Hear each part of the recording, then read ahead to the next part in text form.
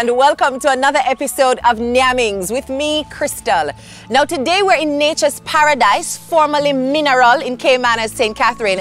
And I'm here to meet our guest for today. His name is Jerron Green. Now, I know Jerron from Medea High School at Manchester High. And now he is a chef, owner of a catering company, world traveler, loves to travel, which means that whatever he prepares for me today is going to be testament to his world flavor. So, I'm waiting to hear what that meal will be. Let's meet him and find out what he's going to be cooking for us today.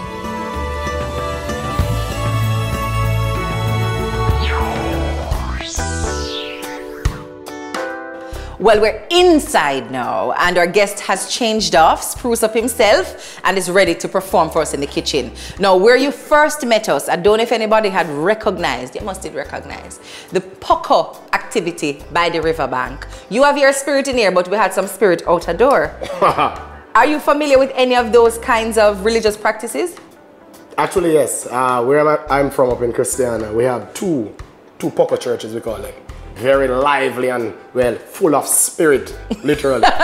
Literally. So whichever spirit we're leading today we welcome it because i trust from how things are laid out that we will be properly guided in the art of preparing the quinoa and the and the chicken breast. So walk me through what we're going to do first and why we're starting this way. All right. So the first thing we're going to do is get this quinoa on on the fire. It takes a little longer to cook than everything else that we're going to do I, my secret is that before I cook it, I like to toast it. Mm -hmm. It has little, this little bitter kind of taste. And I find that when you toast it, it gets rid of that taste completely. Okay, okay. And you know, so we're just going to put some olive oil, some butter in the pan, put it in, listen for like a popcorn kind of pop pop, and then we add some some stock, either chicken stock, beef stock, but I'll use water okay. and good old salt. All right. Poor man stock. So let's get, let's get started with that then. All right. So the first thing we want to do, we want to add some extra virgin olive oil to this little skillet here. And then we're just going to add just a little cube of butter, probably about an ounce. The oil protects the butter from the heat of the pan. We don't want brown butter. We want it just to be all nice. So we're just going to allow that to melt. And remember, what we're doing is actually we're toasting the quinoa to get rid of that that very bitter, nutty taste that it has. So once the butter is all melted, we're just going to add our quinoa for toasting.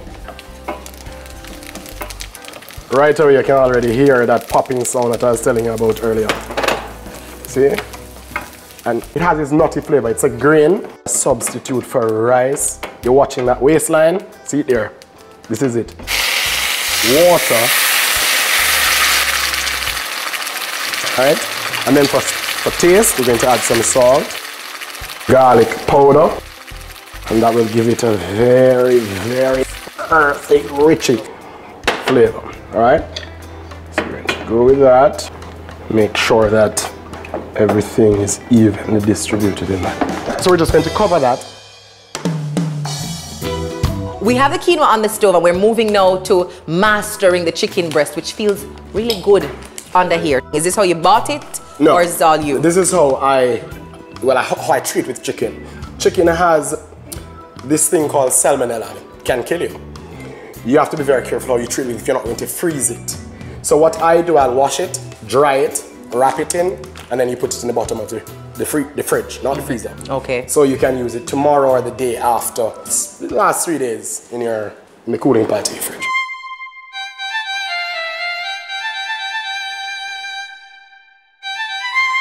I'm also looking at a very extensive wine and spirit collection yes, because it's not even just wine.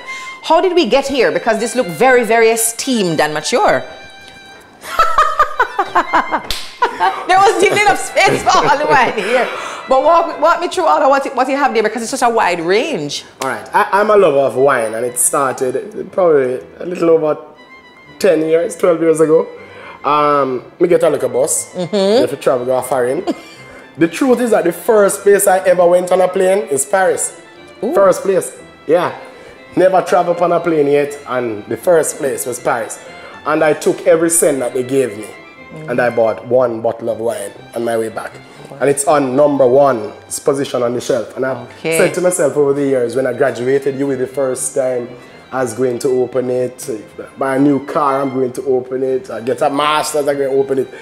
I keep shifting the goalposts. And then I've collected several bottles since. The president of Chile gave Brought me you a of Chilean wine? Yes, ma'am. No, that not for drink. No, no, That no, not no. for drink. And then I think the most prized position, apart from the first, is a 42 years old bottle of wine that was given to me by a very old lady. Mm. 42 years. I think I have 38 years, 35 years, 30 years on the shelf. Nice, nice. That's so we're, we're weaving this into today's meal at all, or it's just generally how you would prepare? I Other didn't plan to, but guess what? I can toast a little red wine in it. I mean, especially since we're working with the cranberries. Of course, I can toast a little red wine, make it, you know. Oh, Zest it up. and- Yeah. All right, we have the chicken here now. Mm-hmm. Very well treated up to this point. Now we're going to chop him into pieces and put him on the fire. But tell me what you do before that. All right, so you know we- we're Caribbean people. We like spice, we like flavors, we like mm-hmm. seasoning, all of that. So what we're going to do, I have here. This is like an all-purpose seasoning, but not the normal type. It has cilantro, it has garlic, it has onion, it has parsley, it has lots of herbs and other spices mixed into it. And I find that this is the very best. All right, so first, and you see I've trimmed it and cut it. It looks clean, into- lean, yes. and ready to be cooked. So we're just going to add, you can call me seasoning bait. All right. and you can put copious amounts of seasoning all over it. Garlic powder. So we're creating like a little crust for it. Ah, you can see it already. Yes. Then we have some cayenne pepper. And that's my heat. Oh yes. Are we not afraid of pepper? No, we're not. Jamaica. With the exception that it's not a scotch bonnet pepper powder that you just put on. All the other seasoning are really true to what grandma or mama would be using to prepare her chicken. Yeah, the truth is, mm. I like to consider myself like a restaurant chef. Yes. You know, very cheap, so I invite my friends over. And we just, like this, this is one, two, that's seven people. And Well- this is not even two grand. Well, put me on the mailing list because I'm very able to take on this kind of meal. Most certainly. It's already done. Don't worry yourself. So what's next? All right, so after this, we're just going to add this to our skillet. Very hot with olive oil and butter. And you know, we're just going to get a sear on both sides and we're just going to pop it into the oven for maybe five minutes. Make sure that it's evenly cooked. Now we're going for a quick break. So when we get back, we'll see the well graced and seasoned chicken breast hit that frying pan with olive oil and butter. Nyaming soon come back.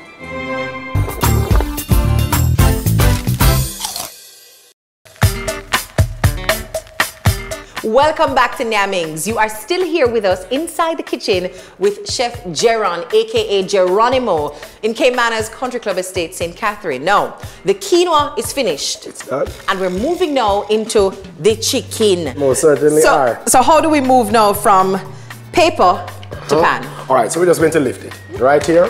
We just bring it right over. All right, so we're going to do the same thing we did with the quinoa. The good old extra virgin olive oil, and that's just to protect this baby here, which is real butter, not margarine. This is butter. And real butter is way, way, way healthier than margarine. Our chicken right there inside. And remember, we just want to get a sear on these. Flip all of these over, and as you'd realize, you have a very nice, perfect char on every single piece.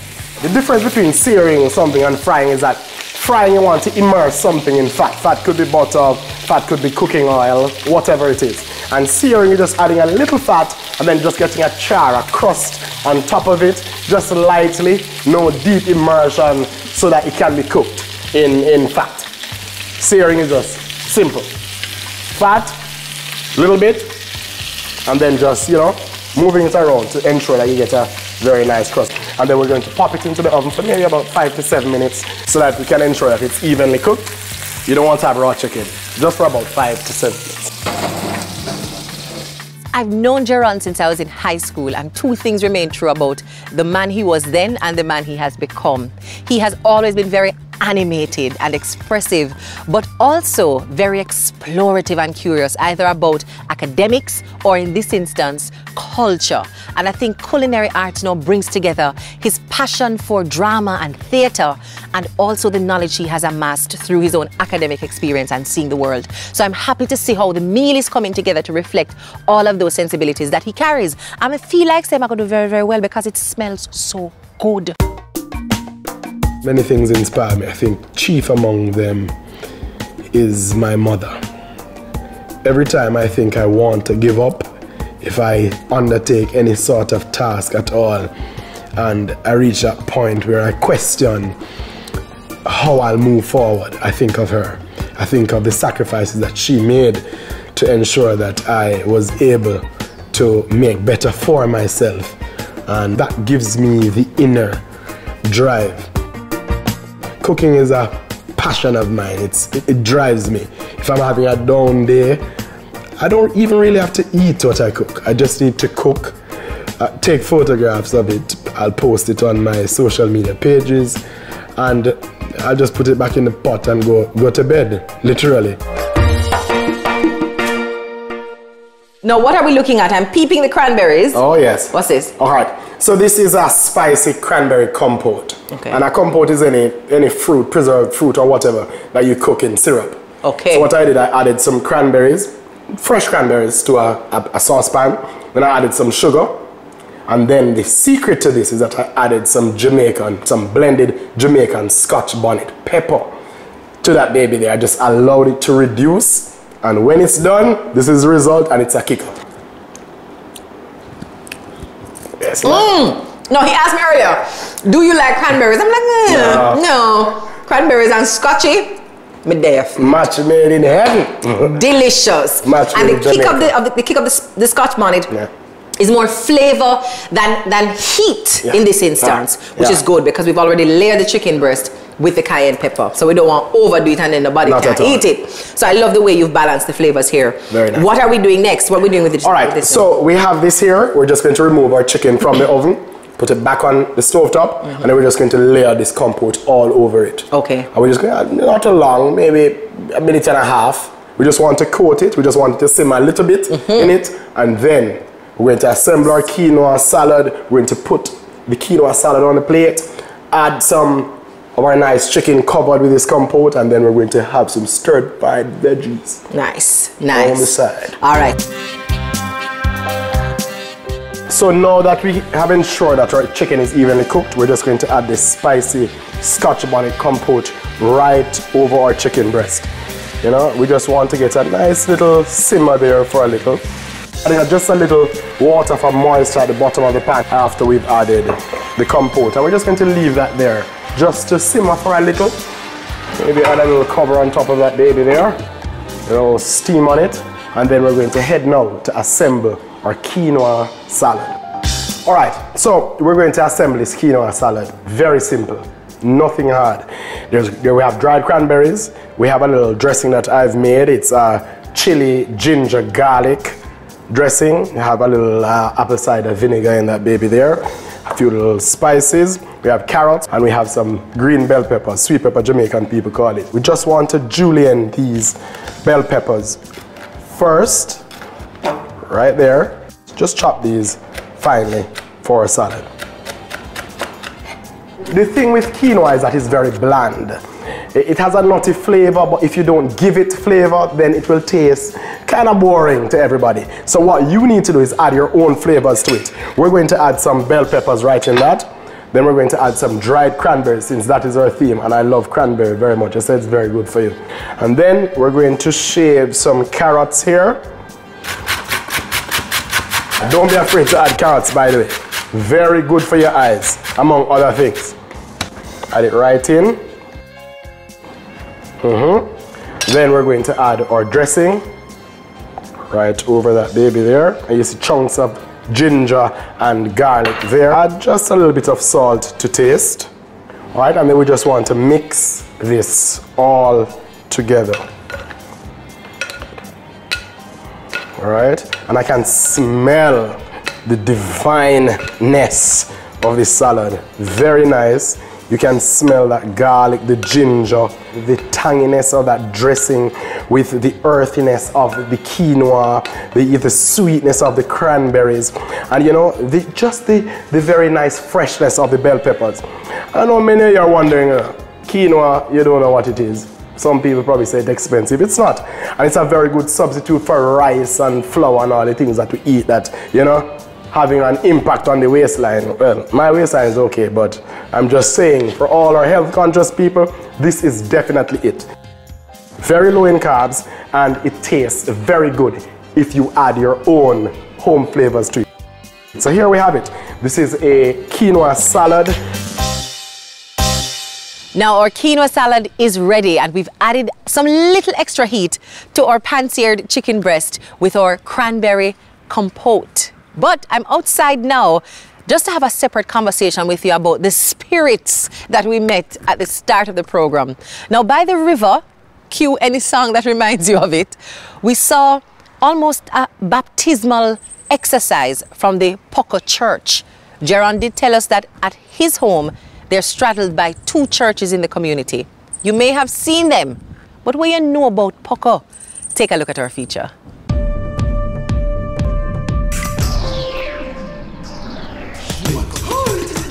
Pocomania is an indigenous Jamaican religious practice that emerged from its African population during the mid to late 19th century. It was spawned from the much earlier Myal practice known as Revival Zion, from which its close relative Zion also comes and pulls from Bible traditions along with African spiritualism.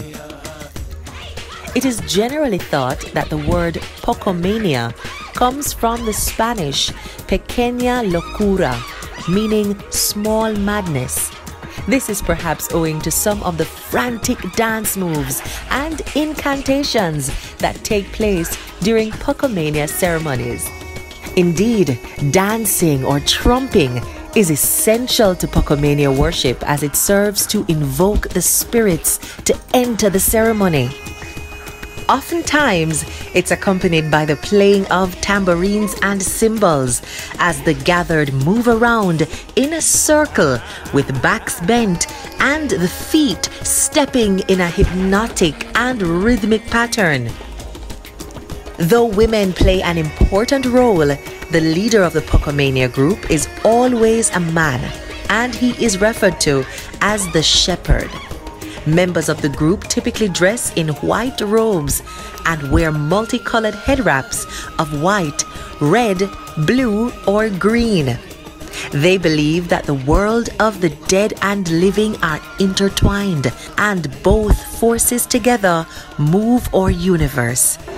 It's the vibrant hymns sung at Pocomania ceremonies that provide us today with that strong connection to our ancestors. I want to go to heaven when I die. Fi go here, Pupa Jordan Road. Look here. If he's wanting, don't make them fool, them full white fool here, you know. Full of color, energy, and culture. And that's something we can proudly own as part of our heritage. Now, just as colorful is the range of ingredients I'm seeing here for what is clearly our jinx for today. But what are we making? What are all of these things that I'm seeing? I said, I know them three here, but this is a mystery to me. All right. So, you know, I'm all Jamaican. Yes. And I'm for Jamaica. I support Jamaican blended and made everything. Pineapples, the mm-hmm. sweetest pineapples you've ever tasted. This is the sugar loaf. taste. No, man, this is a Oh, but look how loaf. yellow that is. This is grown in St. Mary. I want you to taste that. All right, here we go. Absolutely amazing. The sweetest mm-hmm. pineapple you will ever have in your life. Grown here in Jamaica. Is, And that, is one person you get it from? I wonder. Or is that Paris? Look at Come. I gonna need a link. Oh, yeah, man, them pour sugar in it. All right, so we have pineapple, mango, Yeah. cherry. Yes, well, that not really grow here. so- Yeah, no, no, You understand? We have, understand. Mm-hmm. we have two different types of syrups today. We have some agave over there, and then we have some simple syrup right there. Mm-hmm. Then we have some orange juice. This is some strawberry extract, concentrate, And then we have a blended ginger and lime juice. Is that a home blend? Oh gosh, man. Most certainly, it has to be from the home. All right. Now, before Beautiful. tell me where am I going to make, we're going to go for a break and keep you in suspense a little bit longer. Namming soon come back.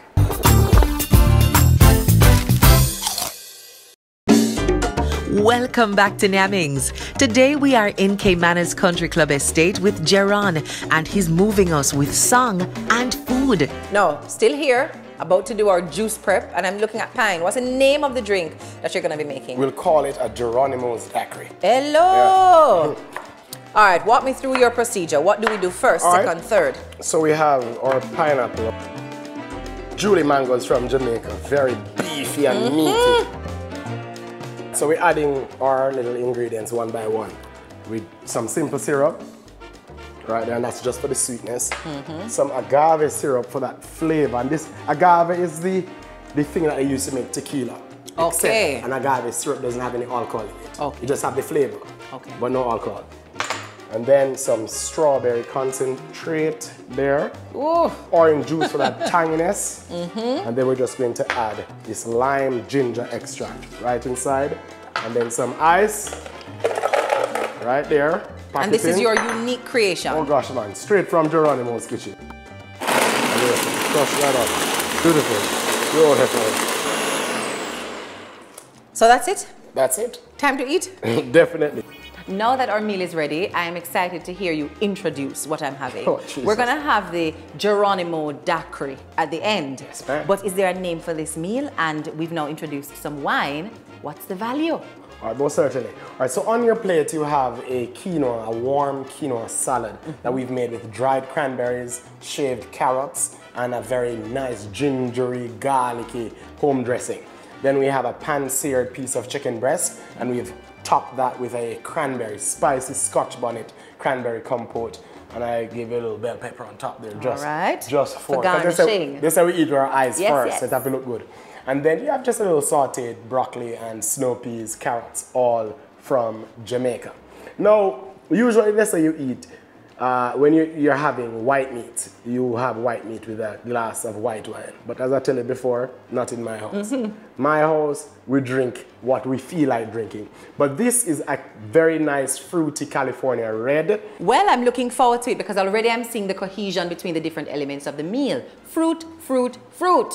So, jumping right in there. Saying, First up is our warmed quinoa salad. Mmm, tastes like rice. Very rarely have quinoa tasting like rice because we tend to do it cold and taste like you're punishing yourself if it's not flavored correctly. So by adding your cranberries in there, we've gotten a hint of sweet and of course the sauce kind of brings it together in a very creamy um, and textured way. Now I'm jumping into my chicken breast. So pan seared and then oven baked. I expect that means a lot of the juices are still retained and we didn't cook it down for all the sauce to drop off of it. All the seasoning, sorry, to drop off of it.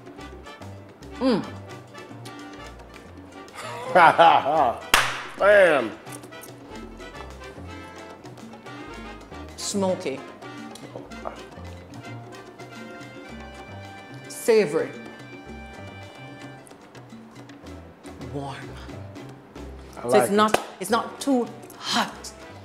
If you don't have the countenance to manage a lot of pepper, but you'd want some warmth, we're gonna call it that in the food. I love what you've done with the cayenne pepper, Thank and you. of course topped it off with a sweet and savory um, cranberry compote. You will see too that it's colorful and well placed and properly aligned to get you all the right elements from your protein um, to your vegetables. Lightly cooked, still very crunchy, and seasoned to perfection Gosh, man. with that mix of olive, olive oil, and butter. Delicious. I'm gonna top it off now with my fruity wine. Mm. Cheers. Cheers. Salute. Nice, light, and dinner appropriate. Love it. Jerron, hats off to the work that you have done in the kitchen today. A beautiful meal, well aligned, well flavored, and I think it does justice to the experience that you've garnered from traveling the world, seeing and tasting how people pull flavors together. And I must laud you, sir, for keeping the Jamaican essence in there. Thank you. Well Thank you. done. Well done.